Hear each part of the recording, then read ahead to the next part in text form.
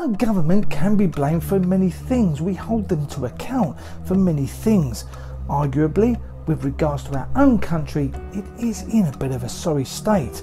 But there is something that is, in my opinion, going unnoticed. Its counterpart, genocide, we all know about.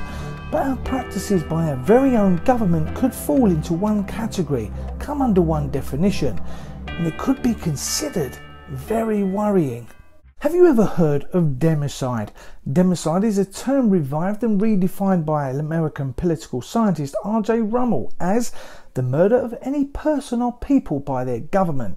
But while our government, namely at the moment the Conservative Party, there are times that they are very much doing things that could fall under this term, come under this definition. Rummel's definition includes large scale killings either by racial intentions or a result of political policies. But one other thing that is considered as democide is deaths arising from intentionally or knowingly reckless and depraved disregard for life. This brings into account many deaths arising through various neglects and abuses, such as forced mass starvation. Some examples of democide classed by Rummel include the great purges carried out by Joseph Stalin in the Soviet Union, the deaths from the colonial policy in the Congo Free State, and of course Mao Zedong's Great Leap Forward, which resulted in a famine, killing millions of people. According to Rummel, these were not cases of genocide because those who were killed were not selected on the basis of their race but were killed in large numbers as a result of government policies. Famine is classed by Rummel as democide if it fits the definition as I've just explained. Food banks have doubled under the Tories, and towards the end, I will give you a record of a few cases of pure neglect by our very own government. But according to Rummel, cases under democide surpassed war as the leading cause of non natural death in the 20th century. One famous case of democide was reclassified as such, was for instance Mao Zedong's democide in 2005. Rummel originally believed that Mao's policies were largely responsible for the famine, but that Mao's advisers had originally misled him. So take the hunger crisis we have in Britain, and I say crisis because in December 2013, according to a group of doctors and academics writing in the British Medical Journal, hunger in the UK had reached the level of a public health emergency. And according to a 2016 report by the Food Foundation, over 8 million Britons experienced either moderate or severe food insecurity in 2014. Over 4 million faced severe food insecurity. The report was based on UN data, but due to the fairly small survey size, its results should only be considered indicative apparently. Also, they say facing even severe food insecurity doesn't necessarily mean one is experiencing chronic hunger. Depends how much food you, would normally eat on a daily basis, I guess. But people just going hungry at home isn't the only case of starvation, and believe it or not, dehydration. It actually happens within some of the services that are run by our government. Take the NHS for example. Now, do you remember when Theresa May disregarded completely the announcement by the British Red Cross that the NHS was in a state of humanitarian crisis? Last week, Mr. Speaker, 485 people in England spent more than 12 hours on trolleys in hospital corridors. The Red Cross described this as a humanitarian crisis. I called on the Prime Minister to come to Parliament on Monday. She didn't. She sent the Health Secretary. But does she agree with him that the best way to solve the crisis of the four hour wait is to fiddle the figures so that people are not seen to be waiting so long on uh, trolleys in NHS hospitals? We've all seen humanitarian crises around the world. And to use that description of a national health service, which which last year saw two and a half million more people treated in accident and emergency than six years ago, was irresponsible and overblown. Well, whilst this was going on, they declared that two patients every day die of either starvation or dehydration in their very own hospitals and care homes. According to the Office of National Statistics, malnutrition or dehydration were mentioned on the death certificates of 726 patients who died in hospital in 2015 and of 130 more who passed away in care homes.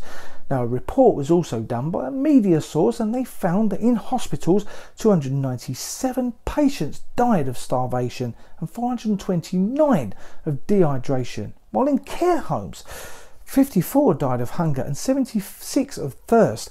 The government is knowingly holding and withdrawing funds from making cuts to these services. But those are shocking figures, and given the def- definition of democide, could this fall under this term? But as I said at the top, democide can also include deaths arising from intentionally or knowingly reckless and depraved disregard for life. People rely on money. We use money for food and to keep ourselves afloat throughout life. We all know the use of money and what it does. So is denying people money, or certainly enough to live on, be classed as democide? Cuts are being made to benefits of all sorts of kind. Many people are made to struggle on a little tiny amount. Many try to complain and sometimes their complaints go unheard. But some people in the past have taken drastic measures to exit their dire situation that they're in. Some people think that suicide is the better option. And whether we think that that action is right or wrong, we can't know the answer until we've been there ourselves. Now, I've said before many times in previous videos, I've been there. Although it did not get as serious as me wanting to exit this world, I did go hungry for a few days a week and I didn't have any money, and that went on for nearly 18 months, about six years ago. But as of 2015, nearly 400 Brits died from malnutrition or hunger. Remember, we are a first world country, and more exact figures from the Office of National Statistics show that 391 people died from malnutrition in 2015 a leap of 27% compared with nine years earlier. The statistics also show two Brits are admitted to hospital with the condition every day in what campaigners have called a national scandal. And there were 746 admissions for malnutrition in just 12 months through 2015, according to the official government figures no money to buy or get food as a result of the benefit cuts, then you starve. Isn't that intentionally or knowingly reckless and depraved disregard for life? The UK's biggest food bank network, the um, Trussell Trust, provided more than a million free day food supplies in 2016, including 415,000 plus to children. That many food parcels to children. Some foods that before people would buy in general in their weekly shop are now considered luxuries. And statistics show that 17% of adults at any one time are concerned about running out of food before more can even be bought. Now, is it me or am I wrong in saying that some of what is to blame is government policy? But jumping now on the modern age of democide steps forward two geographers, Canadian geographers Porteous and Smith, they first conceived the concept in 2001 that they want democide reclassified and bring its definition into the modern age. They want to reclassify democide as such the intentional destruction of home. But in the current global socio-political landscape, democide and its impact is large present in both the global north and south and spanning a variety of scales from mass displacement through the Syrian civil war to the much talked about controversial UK housing policy, especially since Grenfell. It has been underrepresented in critical geographies of home literature. This new paper calls for a resurrection and recasting of the term, highlighting the multitude of contexts in which rethinking democide provides an important contribution towards the expansion of critical geographies of home scholarship. The paper focuses on four areas of geography in which scholars have begun to explore and extend the term. There is in fact many cases with regards to homes and as they term it, unhoming, or the term could also be related, as some call it, social cleansing. One such case happened in 2012 to a Mr. Jason Paul. He was in temporary accommodation with his ill daughter, split up from his partner, but lived in the Waltham Forest borough most of his life. He was told, yes, he was told to move to Walsall away from a possible support network and not able to see his other two sons on a regular basis and it would no doubt be too far to travel. He was also told in a roundabout way, I guess, that if he didn't go, he and his ill daughter would be out on the streets. Now, a book called Democide and the Coalition Austerity, Citizenship and Moralities of Forced Eviction in Inner London explains just that, and I quote the democidal impact of two UK housing policies implemented by the 2010 and 15 Conservative Liberal Democrat government, the criminalisation of squatting and the bedroom tax. Through these case studies, the notion of democide is extended to consider the ways in which it is utilised as a technology of governance. When you look at it, I mean, really look at it, there could be cases all over the world that are, not being classed as democide, and certainly in our own country. Could some of the practices that our government is implementing through policies fall under the hat of democide? Now, in relation to the acts of Stalin and Mao Zedong, the numbers of deaths through the examples I've mentioned would have to be high, very high, to maybe classed as democide. But we're on our way, aren't we? Such a small amount of deaths, though, have already occurred. Frances McCormack, aged 53, had been badgered for bedroom tax after the death of her 16 year old uh, son Jack Allen in 2013.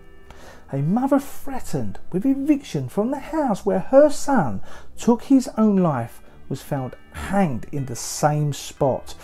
A handwritten note written 10 days previously was found in her bedroom, part of which was addressed to David Cameron on the hardship the bedroom tax was causing. In February 2016, Paul Donnachie, who suffered from severe mental health issues, had been declared fit to work after he failed to attend a work capability assessment. He was found dead at his home after an error saw his payments stop and he owed then more than £3,000 in unpaid rent. Upon realising their mistake, the council sent Mr Donnachie a letter telling him his benefits would be reinstated. But by the time it arrived, it was too late. It was found unopened in his flat along with his body. In September 2015, Ruby Urbax, age 59, she was found dead at her home on the 6th of September 2015 as a result of a heart attack. Her benefits were stopped without any investigation as she missed her JSA appointment whilst in hospital. After her discharge, she had received no money for five consecutive weeks of the £50 per week she would have normally received. She was also paying £20 per week in bedroom tax. On only £30 a week, she couldn't afford to feed herself properly, as bills, she thought, were her main priority. There are people up and down the country that are experiencing the same sort of thing intentionally or knowingly reckless and de- uh, depraved disregard for life, as per the definition from Rummel in regards to democide. But you have to make your own mind up on what, what you think. No one, not, no one, I can't tell you what to make of it. But remember, we are a first world country, and these cases are a result of government policy. So, when will it get better? When will we have a government that many of us could consider one that cares and relates to everyone that walks our streets, the good citizens, the law abiding, honest people that just want to make life better? Because it can be better, but only if we're united.